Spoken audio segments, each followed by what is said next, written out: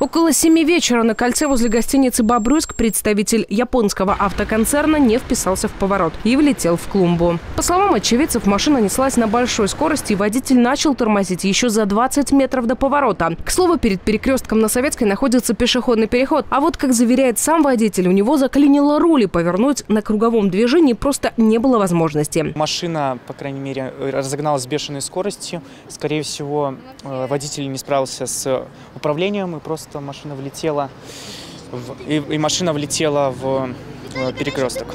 Там еще дым шел, от песка, скорее всего, или от машины. Однако разбираться в деталях случившегося предстоит сотрудникам ГАИ. Если в авто имела место быть техническая неисправность, это докажет экспертиза. В результате ДТП автомобилю причинены механические повреждения. По факту ДТП проводится проверка. В аварии никто не пострадал.